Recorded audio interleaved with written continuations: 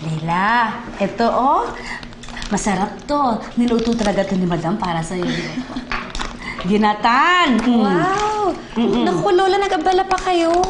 Alam niyo, favorite ko po to. Oh, sige, ihahanda ko. Teka lang, ha? Ano na? Ihahanda ko siya. Mainit pa to. Sandali na ako na!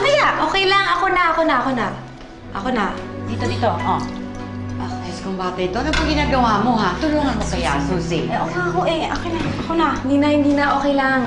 Lola, ayoko naman pumuwala ng silbi. Ginagawa ko na to para masanay ako kung nasa yung mga bagay-bagay. Gusto ko naman na meron pa rin akong silbi. Ano maghahanda? Tutulong na ako. Oo na, okay lang yun. Okay.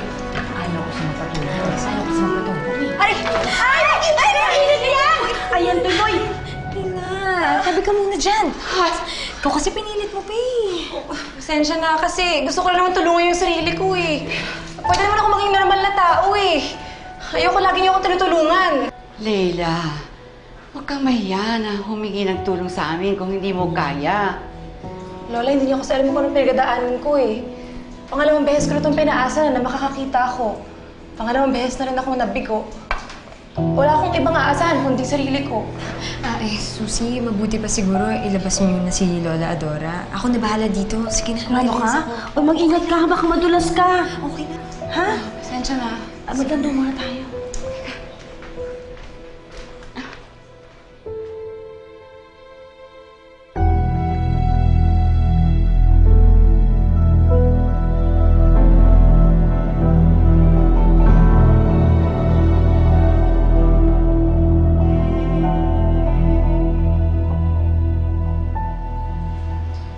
Leila, nakakita ka na ba? Maingay.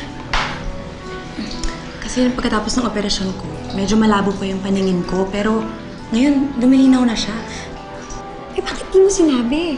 So, yung kanina nag-acting ka lang nun? Siyempre, kasi gusto ko, mukha akong kawawa kay Lola Adora. Kasi siyempre, sasabihin niya yung kay Pato. So, ginagawa mo lang to lahat para kay Pato? Para hindi ka niya iwan?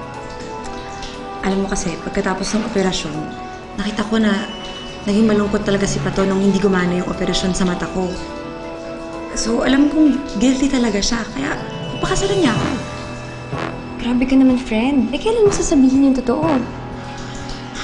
Pagkasal na kami at pagsigurado na ako kay Pato, nagawin ko na lang ng paraan. Pero ngayon, hindi ko na muna sasabihin. Tsaka kung ikaw huwag mo sabihin kay kanino. Sige, na.